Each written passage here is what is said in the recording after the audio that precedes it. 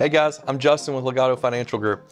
Our firm is passionate about helping educate consumers, which is why we're powering the Gaining Interest podcast. The podcast of quick conversations with industry experts on topics that you want to know about, from sports to dining to healthcare and automotive, and really everything in between. It's hosted by one of the greatest local personalities that I've met, that's John Ramsey. I'll tell you why I love this podcast because it's all about community. We used to call it water cooler talk, and that no longer exists. But if it's interesting to you, it's interesting to us. We encourage you to tell your friends. As Justin mentioned, we're going to talk about everything under the sun. We will be gaining interest, and we appreciate you watching.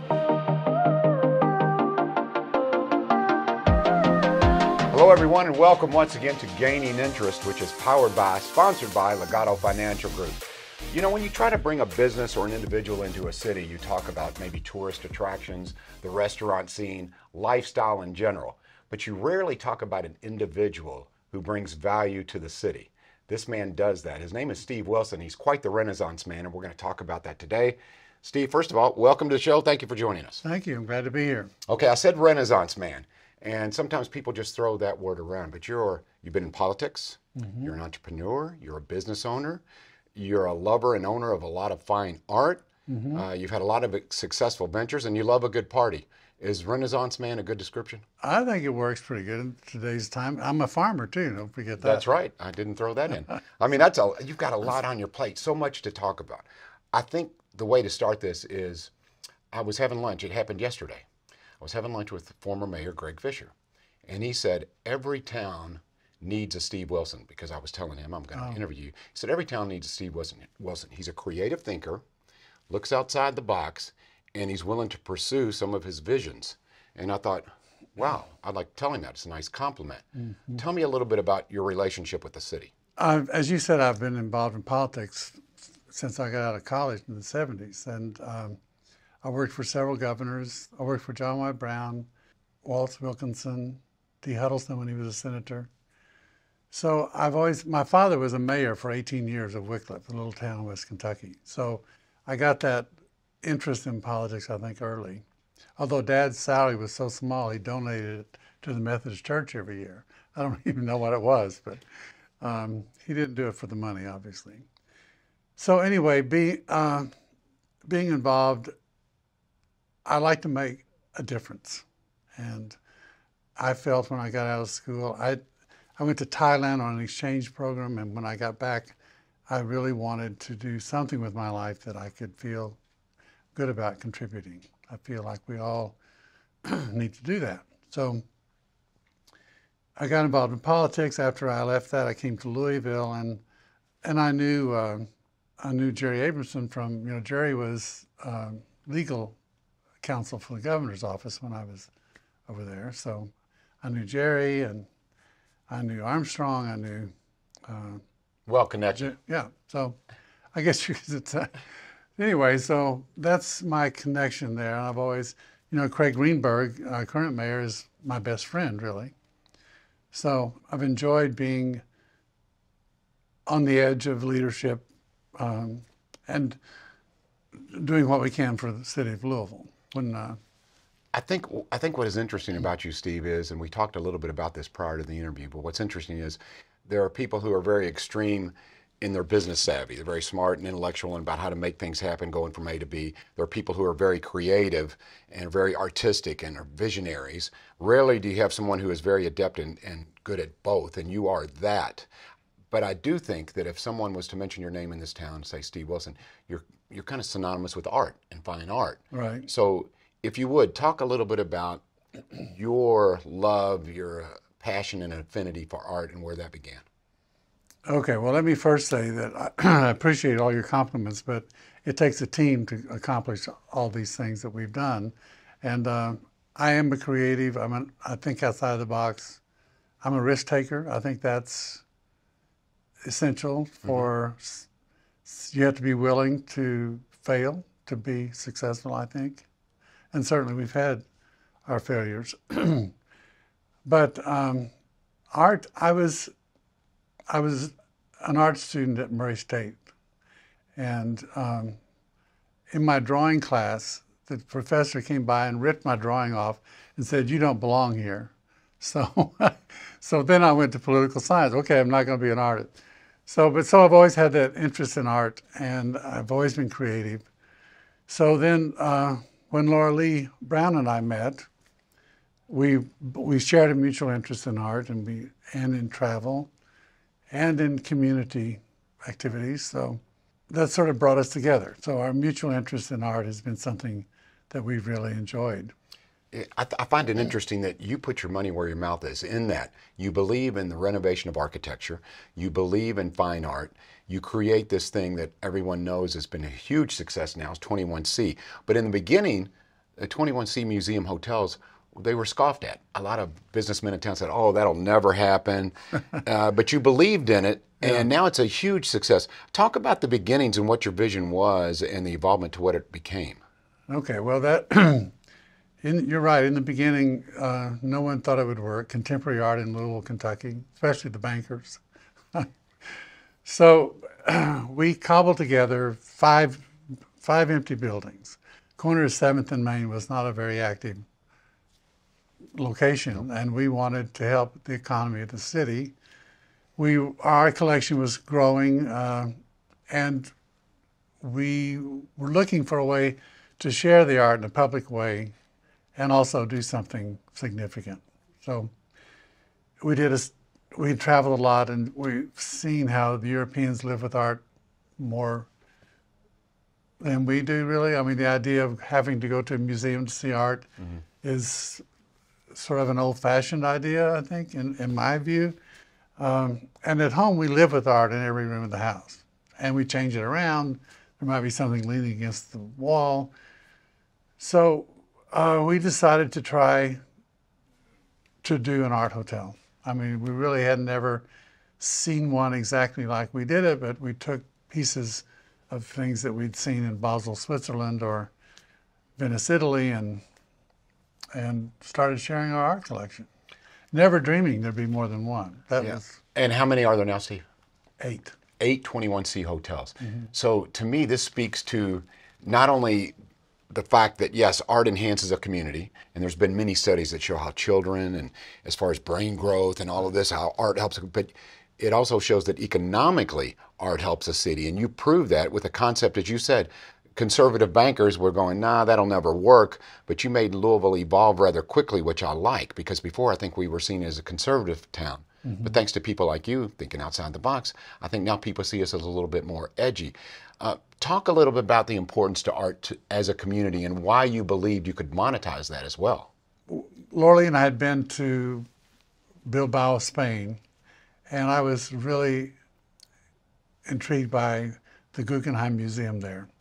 Louisville and Bilbao are similar in that they're small river towns, and in Bilbao, they were losing their young people to Madrid or wherever, and there wasn't really there wasn't really something that made the young people proud of being in that city. But there was there's some great stories about the museum in Bilbao, and but it it it made it made something new and interesting for the community, and tourists started coming, and it created new businesses, new restaurants, new hotels, a new train station, new taxis, and so it completely transformed that little town and made it gave them something to be proud of. Now Louisville is I mean we've got a lot to be proud sure. of here. Obviously the Derby and, and great sports teams and university that's outstanding, but uh, we just felt like there was a need for art in the daily life of the city. Speed Museum is out at the University of Louisville. So we wanted to do something downtown. And, you know, after that, uh, well, the, see, I think the Arts and Crafts Museum was across the street already. But a lot of things have happened downtown oh, yeah. since, since we started. That was 16 years ago.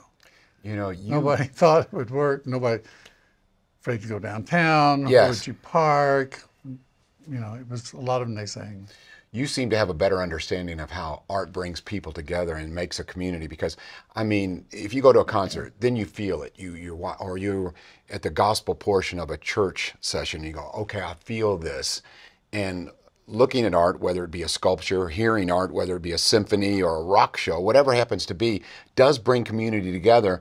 You seem to have a really good understanding of that, and you believed in it so much that you created 21C. And from what I understand, I bet your art collection is incredible.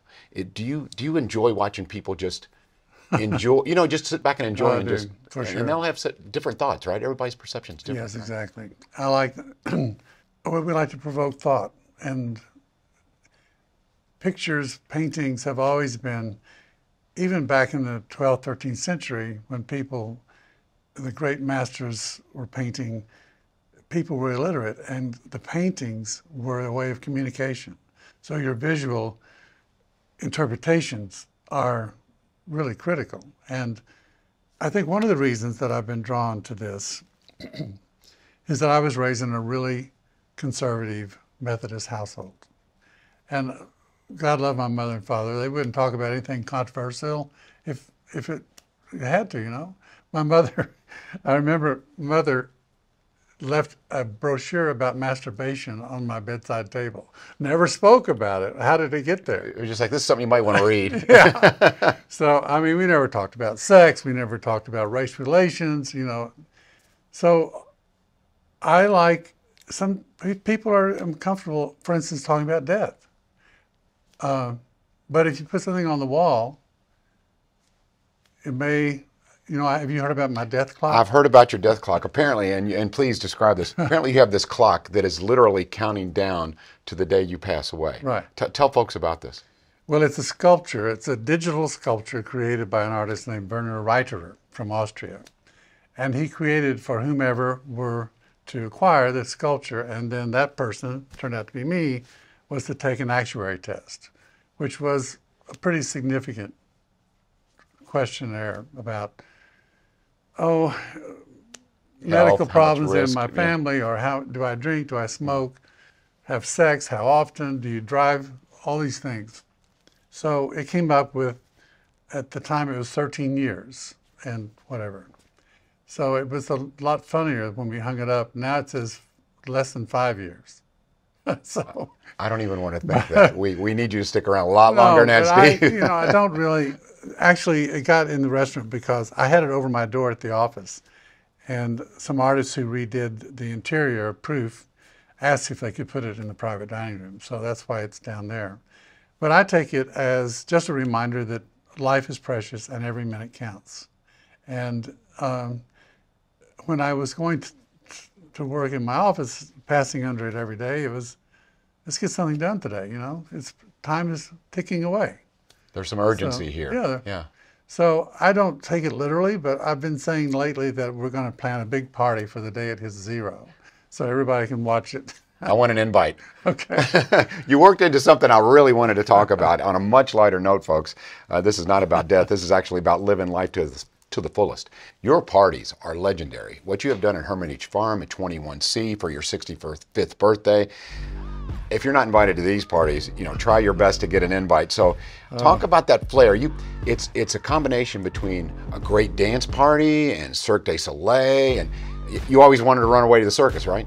That's, actually, when I was a kid and got in trouble, which I did often with my dad, No. I would um, I would get in my bed and pull the sheet over my head and pretend I was a ringmaster in a circus tent.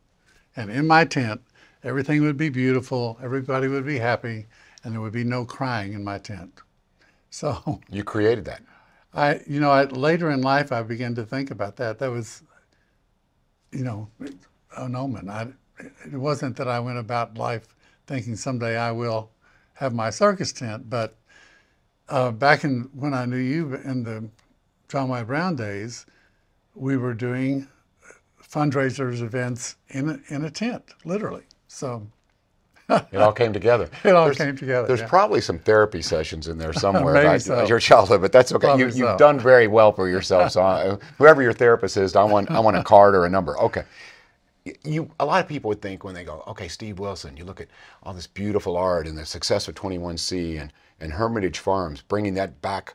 I mean, it was going to be developed, and you said, look, I can do something better with this, and where people can enjoy uh, all of the agriculture, and we'll talk about that a little bit later. But they would think everything you touch is gold. Oh. And yet, and yes, I'm glad you said it. Yet, I have heard you at one time owned a restaurant in Frankfurt that did not do so well, No, which is hard to believe because I've seen everything you touch does turn to gold. So t- tell us a little bit about some of your failures. Oh, well, that it was called the Bishop House, and at the time, my first wife was the sister of the governor, uh, Julian Carroll. I did not know that.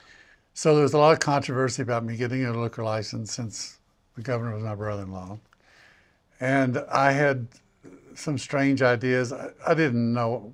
I I'd had success, as you say, planning events, and uh, some pretty good press about those kind of things. I, so I thought I knew all about hospitality, but um, we opened that restaurant on Derby night, which of course I That's would bold never do because you got to bring an A plus to Oh Derby my goodness! night. Yeah. You know, we we have soft openings now. You know, we train the staff. We invite people who for free, so they can't complain too much. And so, but we learn, you know, about how to deal with it through soft openings and building up 20 people to 40 people to 50. You know. So anyway, we had no soft opening, and um, we I had there were several significant government guests. The Secretary of Federal Highway Department.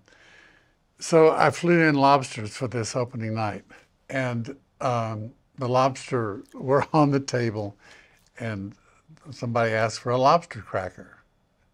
And the waitress went down to the kitchen, which is in the basement. She said, They want some lobster crackers. No, she said, They want some crackers. The chef said, "Oh my God, I have I made bread. We don't have crackers. Tell them we don't have." They just wanted the Crackers, tool to get into the lobster. Oh, my and the goodness. waitress didn't even know what that know. was. Oh my God, it was a disaster. Okay, uh, now let's talk about another success. Okay, Hermitage Farms. Apparently, from what I understand, that property was going to be developed. Right. And it is a beautiful piece of property, and you've got, you know, Barn 8, and, you know, it, it is just, to me, it's very picturesque. It speaks to Kentucky, which you love, and, I'm, and, I, and I love that you and Laura Lee decided to develop that in your way. With that being said, so tell me about what was that decision like, and what did you envision, and what it is? Yeah. Uh, so when Hermitage came on the market to be subdivided, it really pulled on my wife's heartstrings because she had been raised at a farm called Sutherland, which, as you know, now is a very large established subdivision. Um, but in in her youth, that there was only one house on that property. So, and then we live on Woodland Farm, which is out 42 and a little farther past Hermitage. So, it was it was really because the farms are being you know on the east side of Louisville and the, up the river. It's beautiful countryside and people like being there, and it's being eat up with subdivisions. So we thought this is one place that should remain green. Um, and Hermitage, you know, besides just being a horse farm, it won the Kentucky Derby in 1953 with a horse named Dark Star, I did not know that. All who was the only horse who ever beat Northern Dancer, who was more famous than Dark Star at the time. 50 to 1 odds, I think. And then later the Queen visit in the 80s. So it has, it's still a horse farm, um, but it has some great history. And we thought of trying to create what might be thought of as the iconic Kentucky destination. If you're a tourist coming to town, don't have a lot of time, certainly we've got some great bourbon tours, but this is a place where you can come see horses, drink some bourbon, have some great food, and uh, have got a taste of what Kentucky has always been about and what we want to continue.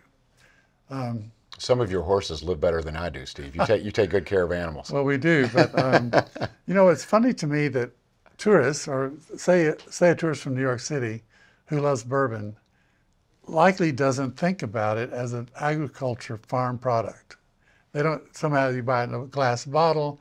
It, it comes from the land, right? Right? The corn, the rye, the wheat. Yes. So that's what we're trying to do at Hermitage: bring all that together and bring it, bring that awareness and um, an appreciation for what Kentucky's all about. Yeah.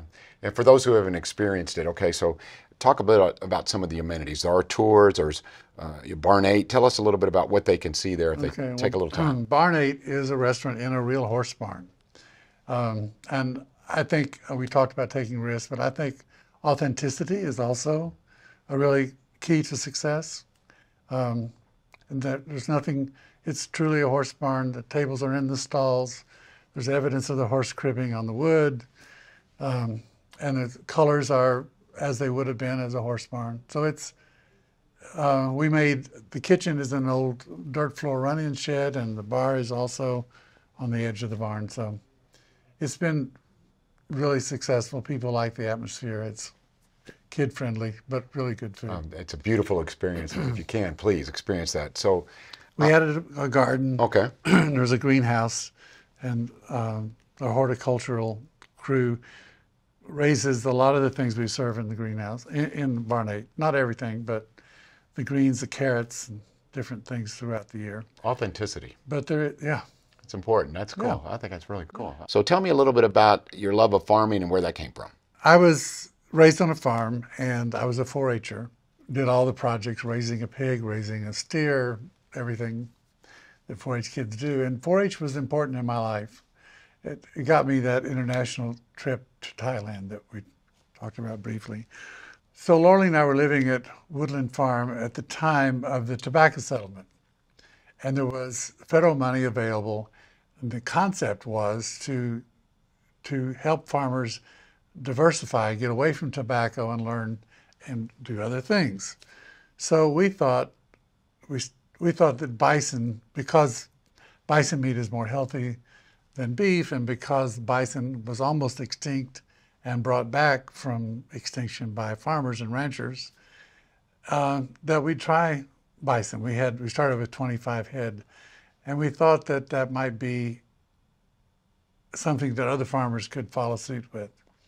It turned out that not many did, but that was 25 years ago, and we're still raising bison where we live. They're beautiful animals, too. They are beautiful animals, and they're very smart and uh, Agile as well. agile for sure. That's why, you know, every once in a while you hear about a tourist getting run over by a bison out at Yellowstone or something. They look cumbersome, but they're like a wildebeest. They can turn on a dime and come at you. Generally, as far as farming them, they are more, they're easier than cattle in some ways because we don't dehorn, we don't castrate, we don't help them calve. They've got to do it all their own.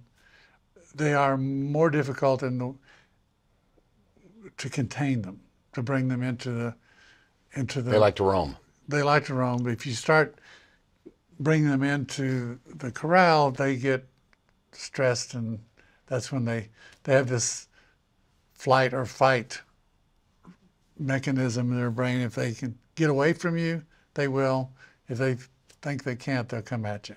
So Okay, you're not feeling that right now, are you? No. Gonna- Okay, no, no, but it's been it's been interesting. We have uh, I think 250 cows now. I think it's probably the largest herd of bison east of Mississippi in America. I did not realize that. How, how do you like your bison burger? I like a medium rare. How do you Me like it? too. Medium rare? All right. Yeah. so we, we have our own processing plant. So the bison burger you get at Proof is we know where it came from. We know how it was raised. We know how fresh it is. So it's about the best you can get straight off the farm. Absolutely delicious. No question. Good.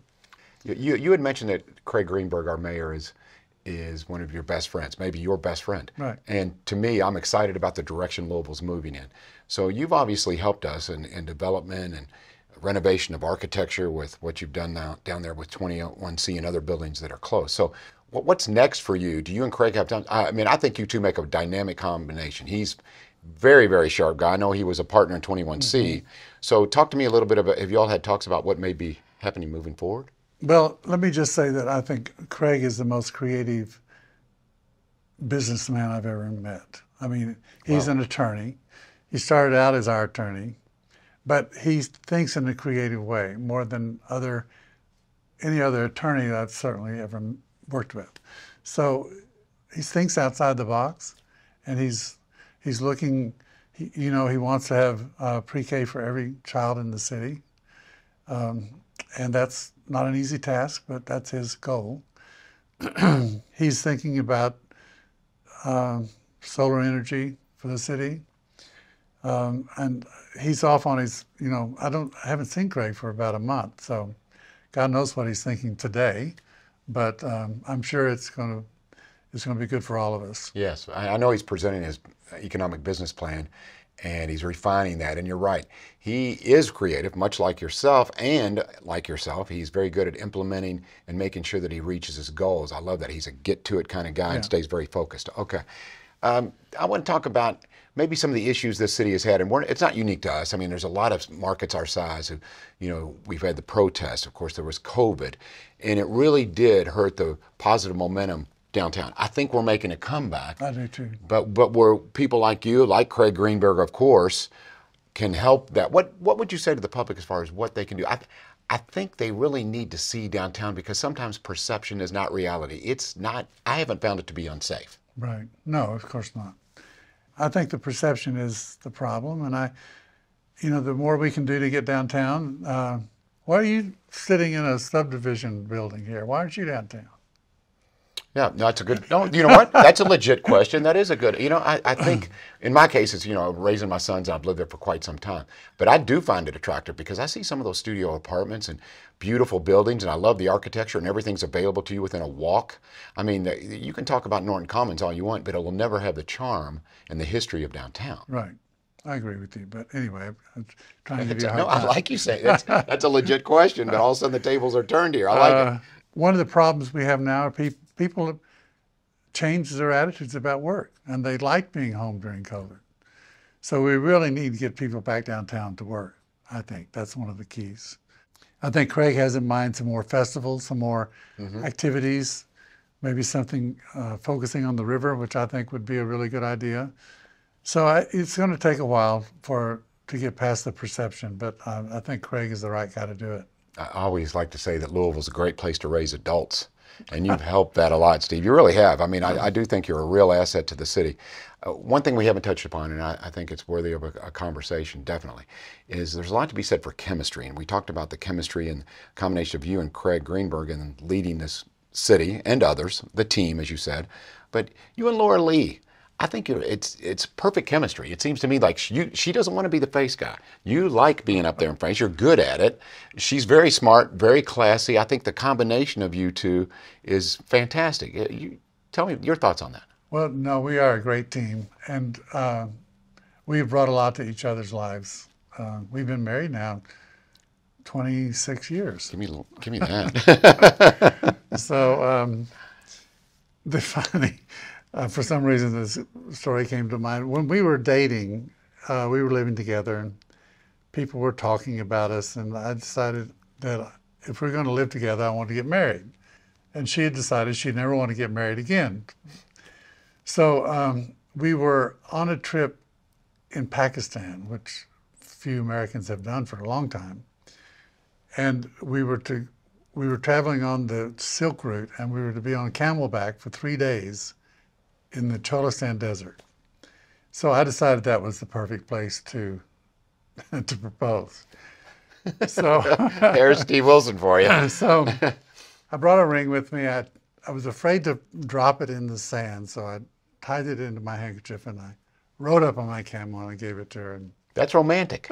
No, it is said- romantic. It's a great story. so she says, "What is this?" And I said, "Well, what do you think it is?" So she put it on, looked at it, then took it off. And I said to myself, I said, "What's going on here?" So I rode up and she said, "Don't say a word. Don't pressure me. Don't say a word." So literally all day, took put the ring on and took it off, on and off. And at the end of the day, we both had saddle sores from running back and forth on these camels. And she crawled into our little tent and she said, If you promise not to make me get back on that camel, I'll marry you. wow. Okay.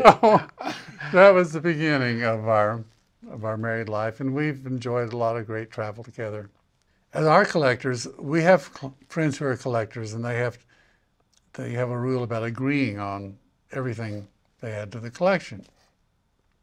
But Laura Lee and I don't do that. So uh, something that grabs at my heart, she doesn't really like it, or something that she loves and I don't. We we give each other that latitude, and I think that's really what has built the collection as it is. It's, it's a wide variety of of interesting material there, and uh, you know I think of contemporary artists as historians of the time. All artists were contemporary in their time, so all these artists that we are collecting and get to know are just recording what's going on today. Interesting. I got a couple takeaways from that. Okay, first of all, you're a romantic. Yeah. I, I love I love what your perceptions of art and how you look at it, and that you're very open to whatever anyone thinks, and it should be timely. And also, don't ride a camel.